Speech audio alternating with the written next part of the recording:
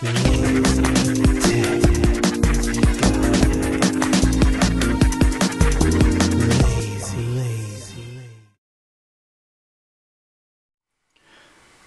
up guys, this is Tony Hannity's with LazyTechGuys.com, best source on the net for your latest tech news and information. Today at Google I.O. Day 2, they announced a brand new application for iOS. Well, actually, they announced two Chrome and Google Drive. Chrome's not yet available, but Google Drive is. So you can go ahead and download it. It's free, it's easy to find. It's just under Google Drive. Um, but I want to demonstrate it on the iPad because, um, first and foremost, one reason why I bought the iPad was because I want to be able to edit, edit and access my documents. And then I went ahead and bought Quick Office, which I still have somewhere. Anyway, anyway, oh, there it is. Um, but Google bought QuickOffice, so in my mind, I would think that you know they would somehow merge the two or use some of the features from QuickOffice and use it into Google Drive. Let's go ahead and dive into that. Google Drive right now once you sign in, it's going to show you very similarly to like Dropbox or SugarSync all the files that you have. Uh, you can have different folders and you can name them. Uh, so first, first of all, here's the folder that I added today for this purpose of the demonstration. Um, next to it, uh, of all the different files you have, you can uh, star them. And so they'll show up in your starred folder or your starred select section.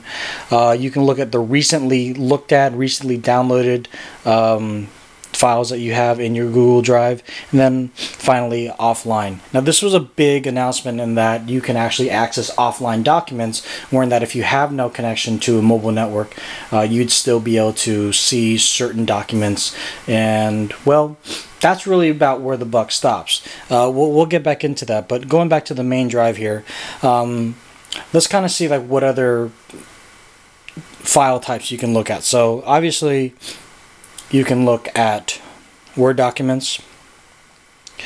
You can look at spreadsheets, zoom in, zoom out.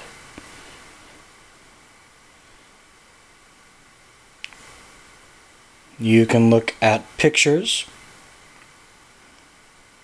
zoom in, zoom out. And finally, you can look at video.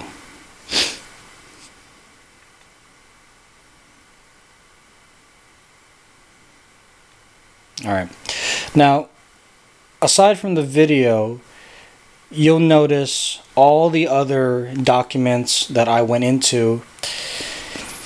Down here in the upper right hand corner, there's that famous arrow. Now what this allows you to do is obviously share it and when you click on that, you can share it and open it up into either Safari or open it up into iBooks, Quick Office, or some other apps that I have. Now, why is this important? Google Drive right now on iOS does not allow you to edit. And so what this really is at this moment in time is really just a read-only kind of uh, access. So with that being said, if you were to open up this Jupiter report that my son did, you could then open it up in Safari if you don't have any of these other applications. And by opening it up in Safari, um, and then you could sign into it, then you have the edit ability on the web. So when you, you need to edit, you'll have to have some sort of online capability. That is one of the drawbacks right now. However, I mean, this is free.